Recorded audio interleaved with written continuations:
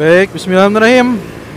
Assalamualaikum warahmatullahi wabarakatuh. Bertemu lagi di Family Channel. Apa kabar sobat? Keluarga semuanya mudah-mudahan sehat dan sukses selalu ya. Banyak banget yang mendm di Instagram, di TikTok, di WA, di kalau komentar sih nggak ada ya. Karena mungkin di YouTube belum ada yang tayang jadi belum ada yang mention. Ada yang bertanya terkait dengan kondisi rumah terakhir di Tol Cijago 3 ini nih kondisi rumah ini ya.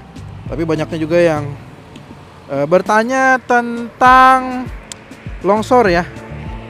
Kenapa dibilang longsor? Kemarin saya juga lihat di video yang bertebaran di media sosial itu di bagian uh, tiang ya tiang dari bor pile yang yang apa tiang tembok itu yang menyangga tanah. Itu eh, terlihat air yang sangat deras dari situ. Eh, kita sama-sama lihat ya hari ini pemirsa ini hari Minggu pagi menjelang siang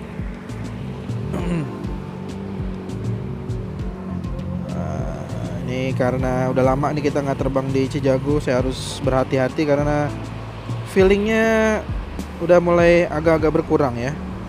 Di mana harus turun di mana jaraknya bagaimana berapa gitu ya. Nah oke nih pemirsa saya udah di gerbang tol 5 utama. Ada yang mention saya bahwa terjadinya di tol Cijago. Nah di sini juga sekalian karena ada banyak juga yang DM ngaku ya. Tulis di kolom komentar. Bahwa ada yang bilang, "Bang, saya masuk dari limo satu menuju eh limo satu limo dua? Limo dua. Limo dua menuju ke arah apa namanya? Ke arah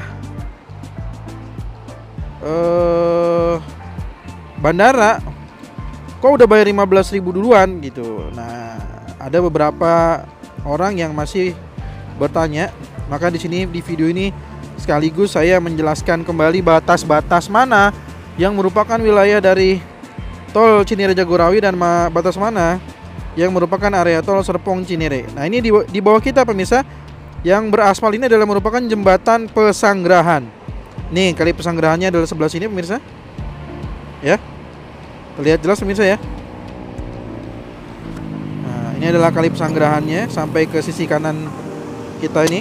Nah, ini adalah area kali pesanggerahannya pemirsa. Dan ini di atasnya disebut dengan jalik uh, jembatan kali pesanggerahan. Dan batas wilayah tol Cijago itu ini masih merupakan wilayah tol Cijago pemirsa. Ya. Di area ini masih merupakan area dari tol Cinere Jagorawi. Nah ini di sini masih tol Cijago pemirsa nih. Batasnya adalah sampai, nah ini juga masih terus nih masih Cijago pemirsa. Nah ini masih area Cinere Jagorawi, masih pekerjaan, masih batas wilayah tol Cinere Jagorawi dan di sinilah pemirsa batas tembok inilah pemirsa yang merupakan batas wilayah di mana merupakan sudah bukan lagi wilayah dari tol Cinere Jagorawi. Jadi tembok yang rubuh ini Pemirsa yang saat ini juga sedang, sedang dalam penanganan petugas. Jadi harap uh, berhati-hati, tetap uh, apa atur kecepatan kendaraan. Nah, ini adalah merupakan batas dari wilayah masuk ke tol Serpong Cinere.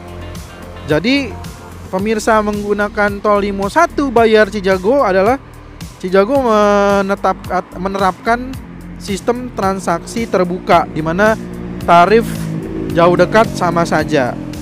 Nah, itu dia pemirsa. Jadi harus diperhatikan. Maka bayar 15.000 itu sudah diberlakukan. Nah, ini pemirsa kita saksikan, kita sedang menyaksikan bagaimana penanganan-penanganan tembok yang uh, rubuh pemirsa. Nah, saya juga akan coba tunjukkan pemirsa. Kemarin itu keluar uh, terlihat air ya.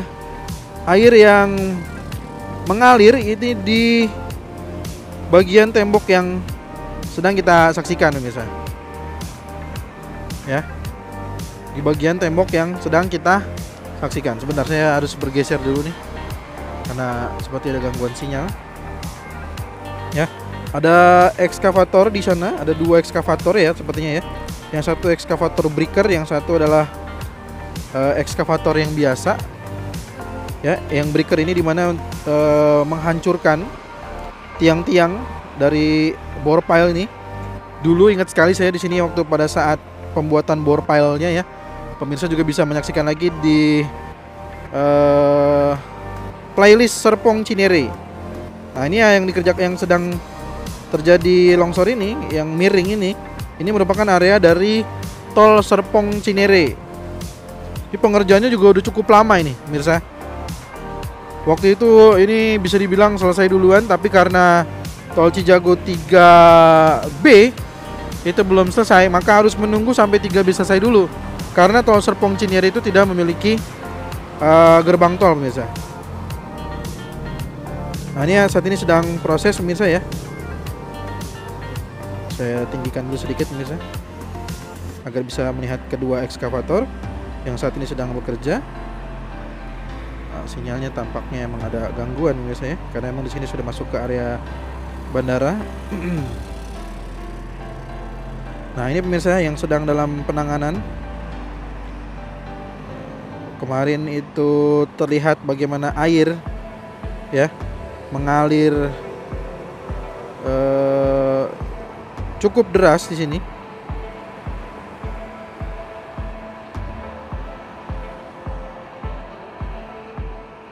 Akhirnya bagian tembok ini rubuh pemirsa ya. Dan saat ini sedang dalam penanganan pemirsa. Oke, sebentar ini ada gangguan pemirsa ya.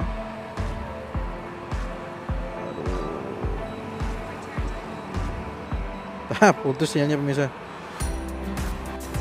oke ya bener-bener gangguan sekali pemirsa sekarang ini baru bisa dibilang nggak terlalu jauh sebenarnya. Tapi entah kenapa sinyalnya udah putus-putus. Saya coba turun lagi pemirsa ya. Mudah-mudahan aman. Oh langsung merah lagi.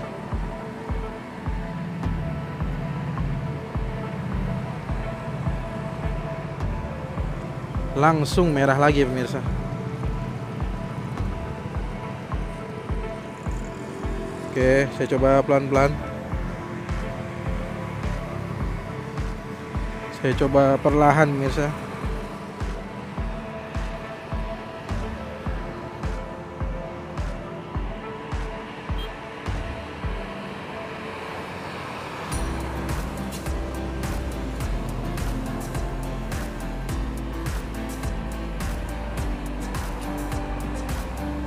Oh ada tiga ekskavator menurut saya Ada satu, dua, tiga yang bekerja menurut Bukan cuma dua ternyata.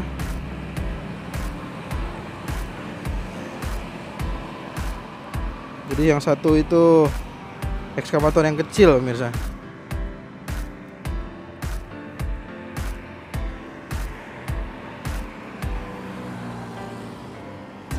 Nah ini juga bagian yang lainnya ini udah mulai miring-miring misalnya nggak tahu nih nanti penanganannya seperti apa. Kita akan lihat apakah akan dibuatkan lagi tiang pancang lagi. Kalau akan masuk lagi tiang pancang nih masuknya lewat mana nih? Dengan kondisi yang sudah seperti ini.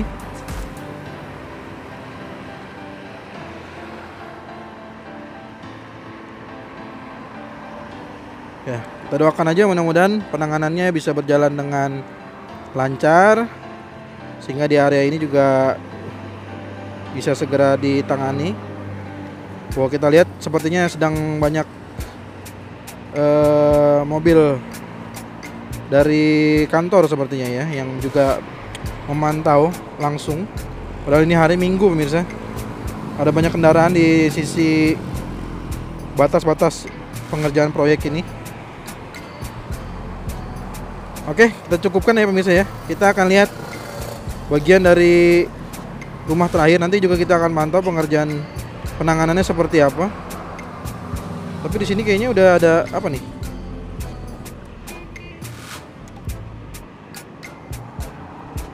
Oh nggak ada yang ada apa-apa ya. Oh ini bekas ini kali ya pengangkut buat pengangkutan ini. Buat pengangkutan puing-puingnya pemirsa. Memang Sabtu kemarin itu luar biasa pemirsa. Sabtu kemarin itu benar-benar hujan dan angin yang begitu keras. Angin kencang terus ada juga hujan es batunya pemirsa karena sempat putus saya nggak berani lewat bawah. Kita ke atas saja pemirsa dan inilah kita masuk lagi ke area tol Cijago. Kita akan melihat rumah terakhir ya. Yang sudah bertanya bang gimana kabarnya rumah terakhir? Oh iya sekalian ya. Bang gimana mobil misteri? Oke kita akan lihat mobil misteri misal tapi sebelum ke mobil misteri kita lihat dulu rumah terakhir ini pemirsa